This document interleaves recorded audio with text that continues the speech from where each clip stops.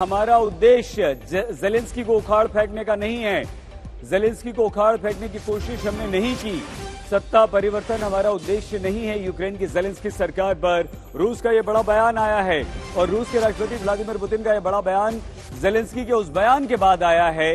जब उन्होंने ये कहा था कि नेटो में शामिल होना कोई बहुत ज़रूरी नहीं है और उसके लिए वो हमारी प्राथमिकता भी नहीं है। यूक्रेन की जेलेंस्की सरकार पर रूस का बयान। तो जेलेंस्की के बयान के बाद अब व्लादिमीर पुतिन, रूस के राष्ट्रपति का जो रुख है वो काफ़ी नर्म देखने को मिल रहा है। जनरल दयाल, आप मानते हैं कि अब ये जो मुद्दा है, ये जो युद्ध है, ये बातचीत की तरफ़ और थोड़ा सा माइल्ड होता हुआ नज़र आ रहा है? कोई शक की बात नहीं है। देखिए, स्पष्ट है, अगर कल दोनों फॉरेन मिनिस्टर्स को मिलना है तो रशिया के फॉरेन मिनिस्टर एक ऐसी ताकत या एक ऐसी सरकार के फॉरेन मिनिस्टर से तो नहीं मिल सकते ना, जिसको आप मानते ही ना हो। तो सरकार को तो मानते हैं आप, और उसको पहले ये कहना कि आपको बदल देंगे। ये दोनों को थोड़ा सा तो मेल्ट डाउन होना पड़ेगा ना, अगर कोई फैसला निकालना है, अगर कोई हल करना है।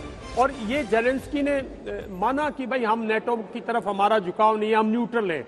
अभी न्यूट्रलिटी मानी है बातचीत के ज़रिए शायद वो बिल्कुल मान जाएँगे कि कभी नहीं जाएँगे, हम अपनी पार्लियामेंट से पास कर देंगे। तो मैं समझता हूँ फिर रशिया को कौन प्रेसिडेंट है, यूक्रेन का कौन प्रेसिडेंट नहीं है, उस पर कोई कोई आपत्ति नहीं होनी चाहिए। हाँ कहीं ना कहीं जेलेंस्की भी अब ये समझ गए हैं कि ज़्यादा नाटो नाटो, ईयू ईयू करने से उनको कोई फ़ायदा नहीं है। अल्टीमेटली जो फ़ायदा है वो अल्टीमेटली जो दोनों देशों का, जो दोनों देशों का जिसमें भला है भलाई है, वो युद्ध रोकने में है, इस विनाश को रोकने में है, और कहीं ना कहीं रशिया और यूक्रेन की रीअप्रोचमेंट में है।